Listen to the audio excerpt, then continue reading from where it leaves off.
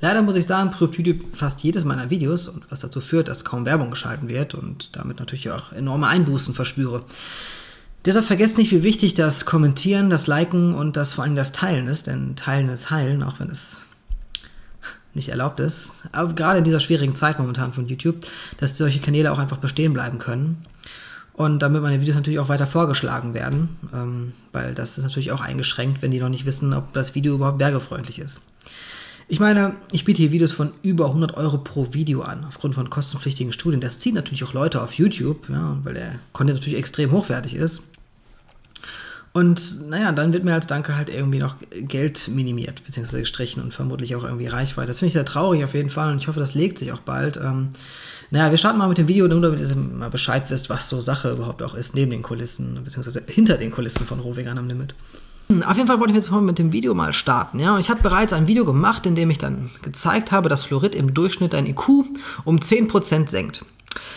Alles anhand von Metastudien und so weiter. Siehe hier, ja, eine Studie, bla bla, 36 Dollar übrigens, ja. Dort habe ich dann gezeigt, dass Mäuse fünfmal häufiger starben, wenn ihnen Aluminium, äh, Aluminiumfluorid verabreicht wurde, oder dreimal häufiger bei Natriumfluorid. Dann habe ich ebenfalls in einer Studie gezeigt, dass die Konzentration im Vergleich zum Knochen ja, und Gehirn die Zielbedrüse die höchste Akkumulation aufweist. Dann wurden verschiedene Arten von Wildenten geprüft und alle zeigten das gleiche Schema, am meisten Fluorid in der Zirbeldrüse akkumuliert. In einer weiteren kostenpflichtigen Studie wurden alte Menschenknochen ne, und Zirbeldrüsen verbrannt.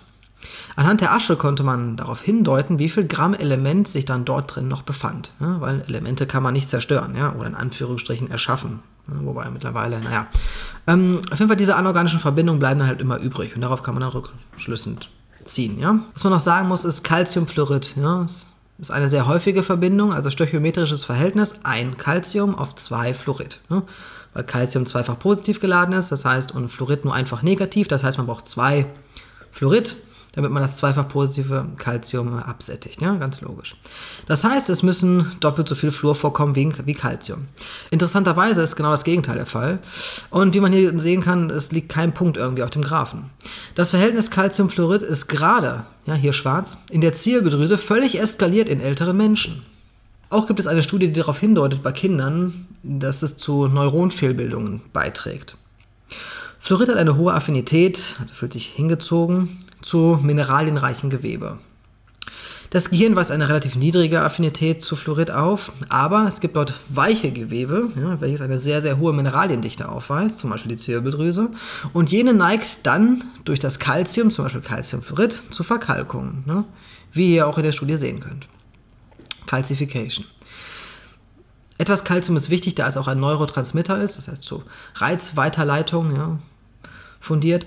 Ähm, ja, es dient sozusagen auch als Zentrum der Intuition und ist beteiligt natürlich Haupt, Hauptaufgabe sozusagen Produktion des Melatonin. Ja, kennt ihr alle. Gut, wer da mehr wissen möchte, der kann gerne noch mal in mein Video reinschauen, was ich oben schon verlinkt hatte in den Infokarten. Da Fluorid in bestimmten Verbindungen sicher Eigenschaften auf unseren Körper, wie zum Beispiel höhere Mortalitätsrate bei Säugetieren in Versuchen, IQ-Senkung und so weiter veranlasst, Neuronschäden, können wir jetzt einfach mal 1 plus 1 zusammenzählen. Die Frage ist, wie bekommen, die Frage ist, wie bekommen wir das Zeug überhaupt wieder aus dem Körper heraus? Zunächst möchte ich drei Stoffe zeigen, die Fluoridschäden dauerhaft negieren bzw. lindern. Es gibt Elemente, die anscheinend eine sehr, sehr positive Wirkung auf die, auf die Nebenwirkungen von einer ungünstigen Fluoridverbindung haben. Wie zum Beispiel Maobab Bascha 2011 in Ratten untersuchte. Ja? Man sieht hier, dass Natriumfluorid die Geschlechtsreife bzw. die Fähigkeit der Hoden und der Eierstöcke massiv einschränkt. Durch die Aufnahme von Selen oder Vitamin E wird das wieder immer weiter zu einem Normalwert gebracht. Unter anderem das Durstgefühl konnte weiter normalisiert werden, seht ihr hier.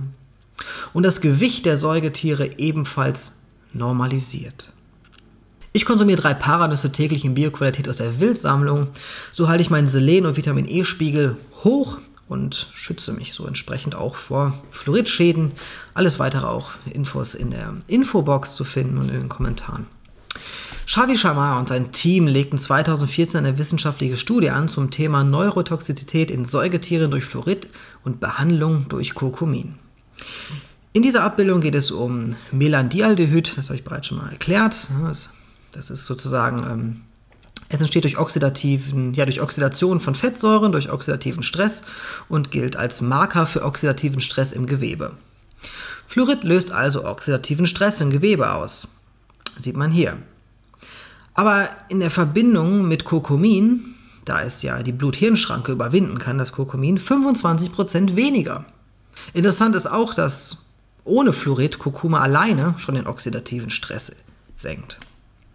Weiter wurde die Lebensfähigkeit von Neuronen gemessen und man sieht hier, dass die Kontrollgruppe blau höher liegt als gelb Fluorid und damit senkt Fluorid die Lebensfähigkeit von Neuronen. Und hier ist auch erklärt die Senkung des IQs, klar, aufgedeckt ne, ist das hier. Und man sieht auch, dass Kurkuma plus Fluorid dies puffert im Braun. Und in Schwarz sieht man hier sogar, dass Kurkuma ohne Fluorid ja, die Lebensfähigkeit noch mehr erhält als in den Kontrollgruppen, wo sowieso gar kein Fluorid zugesetzt worden ist. Nur als kleiner Tipp, wer Kurkuma nicht wirklich mag und sein Geld nicht für teure Kurkuminpräparate ausgeben möchte, da die Bioverfügbarkeit wirklich ja, zu wünschen übrig lässt, ähm, den kann ich eine Kapselmaschine empfehlen ja, und kauft sich einfach Bio-Kurkuma-Pulver und vegane leere Kapseln.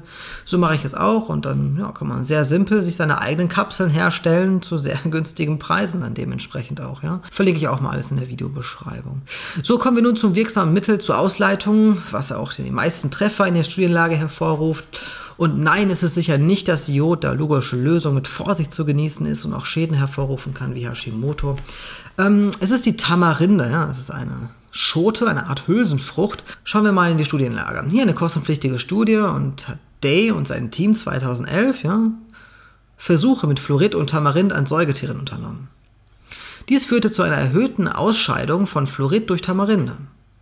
Was aber noch interessanter ist, wenn man sich die Zahlen anschaut, ja, zum Beispiel in den Knochen, also im Oberschenkel ja, und Schienbein und Waden, zunächst ohne Fluoridzugabe bei ca. 1000 ppm, also Parts per Million. Ja. Nach Fluorid ja, verdreifachte sich der Wert auf 3000. Ja, das heißt, enorme Akkumulation von Fluorid in diesen Knochenteilen. Dann nach Zugabe von Tamarinde erniedrigte sich der Wert. Also sieht man hier von C nach E, das sind alles Konzentrationen, je höher konzentriert, ja, also E ist am höchsten konzentriert, Tamarinde wieder auf 2000. Eine weitere kostenpflichtige Studie hat Schulkinder bis 18 Jahren getestet, ja, bei nur 10 Gramm Tamarinde pro Tag. Und ja, dessen Fluoridexkretion, also Ausscheidung dann dementsprechend, ja. Wie man hier sehen kann, nach 24 Stunden führte dies zu einer 35-prozentigen erhöhten Fluoridausscheidung. Was aber noch interessanter ist, dass Tamarinde sogar veranlasst, ja, weniger Minerale auszuscheiden, die der Körper benötigt, zum Beispiel Zink, Magnesium, Calcium, Phosphor. Das heißt weniger von dem, ja, was wir nicht haben wollen in unserem Körper und mehr von dem, was wir eben brauchen. Das hilft uns dabei. Wirklich tolle Eigenschaft. Auch die Antioxidantien schützt die Tamarinde im menschlichen Körper ja, durch den oxidativen Stress, der ausgelöst ist von Fluorid. Ähnlich wie Kurkuma und Selen und Vitamin E ja, schützt die, sie jene. Auch hier wurden enzymatische Antioxidantien getestet, ja, wie man hier sieht. Bei der Zugabe von Fluorid ja, sieht man einen starken Einbruch auf einmal. Ja, jener bei Säugetieren. Doch je höher die Konzentration von der Tamarinde, hier bis zu 20 Prozent, einmal markiert habe ich das für euch, normalisiert sich der Wert immer weiter. Ja, also abschließend kann man sagen, also in pflanzlichen Lebensmitteln sind reichlich Substanzen, die einen vor den Folgen von zu hohem Fluoridkonsum schützen. Und Tamarinde eignet sich als bestes Mittel ohne Nebenwirkungen, um es nachhaltig aus dem Körper zu entfernen und sogar ja, Folgen zu lindern, also beides. Ja, ich habe ähm, ja, verschiedene Pasten habe ich einfach mal dort, äh, ja, konzentrierte Pasten einfach mal verlinkt, die ich auch selber mir gekauft habe und meine Kur machen werde. Ja, ansonsten bedanke ich mich sehr fürs Zusehen. Also das Liken, Teilen und Kommentieren wäre sehr, sehr schön. Und abonnieren, falls ihr es noch nicht gemacht habt. Auf die Glocke drücken, damit ihr auch wirklich informiert werdet, wenn ein neues Video überhaupt kommt. Und ja, ich freue mich aufs nächste Mal. Wir sehen uns.